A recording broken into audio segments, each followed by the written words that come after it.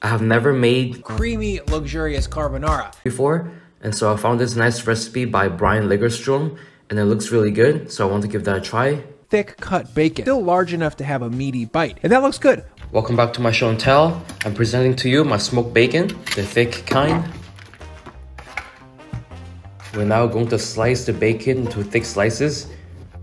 This is probably the most bougiest bacon I'll ever eat.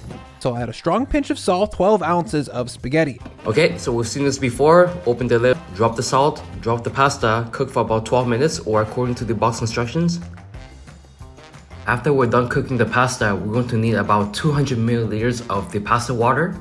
So I'm going to take a measuring cup and with great dexterity, trying to remove 200 ml and put aside. Add in a little squeezer of olive oil. In goes all of my bacon.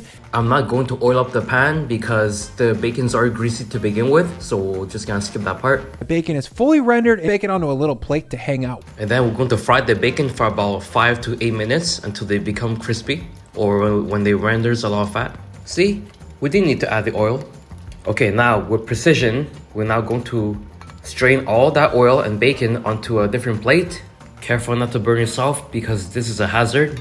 This carbonara, I'm going to be using two different hard cheeses, imported Parmigiano Reggiano, Pecorino Romano, one whole large egg, and then three large egg yolks. Okay, now to make the sauce, we're going to need three egg yolks and one full egg, so that makes four in total. Carefully and slowly, not to use the shell and stab the yolk or else it's going to bleed out. What did I just say? Oh my goodness. And then the whole egg. Once it's mixed together, it should look like polenta. So to the two alternative cheeses that I don't have, I've decided to use my own Parmesan cheese. It's been aging in my fridge for two months. He mentions 50 grams for each of the cheeses, but uh, in my case, I'm not going to measure. Uh, I like cheesy products. I like to eat cheesy food, so I'm not going to measure. I'm gonna live life on the edge. Then we're going to mix all of that together. 100 mils are right into my egg cheese mixture. And All right, using the saved pasta water from earlier, we're now going to add 100 milliliter of wa- uh, pasta water into the egg mixture. And then we're going to mix thoroughly again. It should look a little soupy, and that's okay because that's going to be our sauce. one and a half cups or 300 mils of this pasta water into my bacon pot. All right, now we're going to add 100 ml of the pasta water into the baking pot. And then we're going to add some black peppers. Move these spaghettis from the saute pan into the Dutch oven. All right, so now we're going to move the pasta into the pot. For that, I'll take this pot off the heat, egg cheese mixture. We're going to add the egg and cheese mixture. Add in all of my rendered bacon goes my, then a quick stir to combine. All right, next we're going to drop all that bacon, all that grease, everything in there. We're not leaving anything behind. I prefer this heavy Dutch oven. It stays hot for a while. Dutch oven cooled off a little bit more than I would have liked. It looks like he's trying to plug in his sponsorship about his Dutch oven, which is fine. In my case here, I'm just gonna use a regular pot which I got from Costco. It does the same job. Okay, anyways, we're gonna put it back on the stove and we'll put it on very low heat and we're just gonna keep stirring this around continuously, non-stop, so that way the eggs they don't start cooking. And we want, to be in a saucy texture. Okay, cool. So it looks about done. We can start plating this. Okay, cool. So this is how it looks like after we plate it. It doesn't look too bad, right?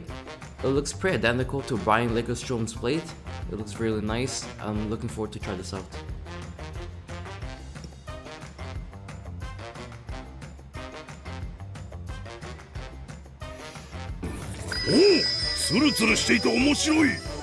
The carbonara is very creamy and tasty. The four yolks in total makes the pasta very rich and silky. The Parmesan cheese, especially when it has been aging in the fridge for two months, give it that depth of flavor. As for the bacon, what's not to like? It is salty and helps with the pasta with the protein part. A very successful carbonara, and first time making this too.